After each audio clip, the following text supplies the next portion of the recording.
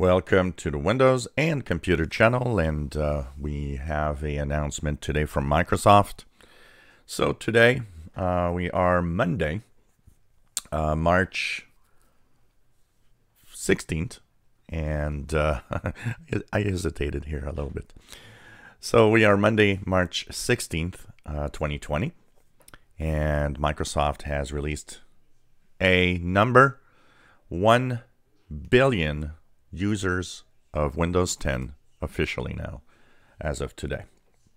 I probably, uh, I was thinking that we were probably there, uh, and I pro- I mentioned it a couple of times, as the last number was 900 million in September, and uh, there was of course an increase in uh, the adoption of Windows 10 in the last couple of months because of the Windows 7 end of support.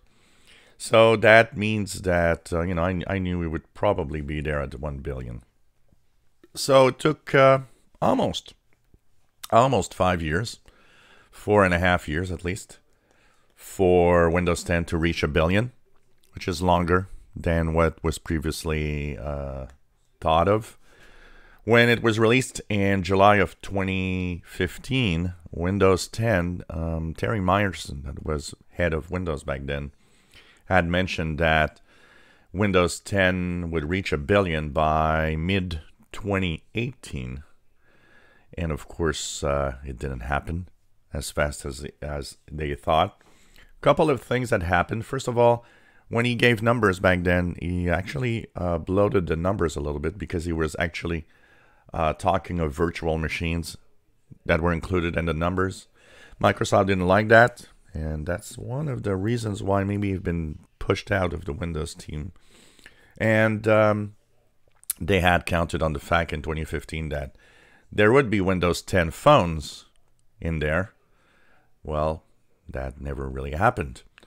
So 1 billion, uh, the majority of that is, of course, uh, PCs or computers, but there's a little bit of other things in there, of course, like Xbox, for example, which runs a variant of Windows 10 it's uh, of course uh, calculated in there. But for the majority, the big, big majority of all of Windows 10 users are computer or PC users.